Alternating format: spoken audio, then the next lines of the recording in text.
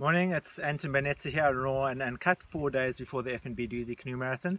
We're here at Campbell's Checkpoint at the end of uh, the Campbell's Portage.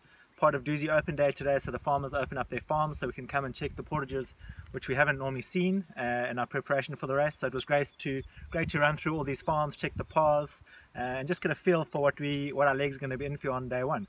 So Banetse, what do you think of the paths? How are they looking there today? Um, the paths are looking good. They were cut. Um, everything's looking awesome. Eh? Um, I think it's going to be a good race. Three days to go. Very excited about it. And how's the river looking? The river is low today. Um, hopefully it's going to be up by Thursday.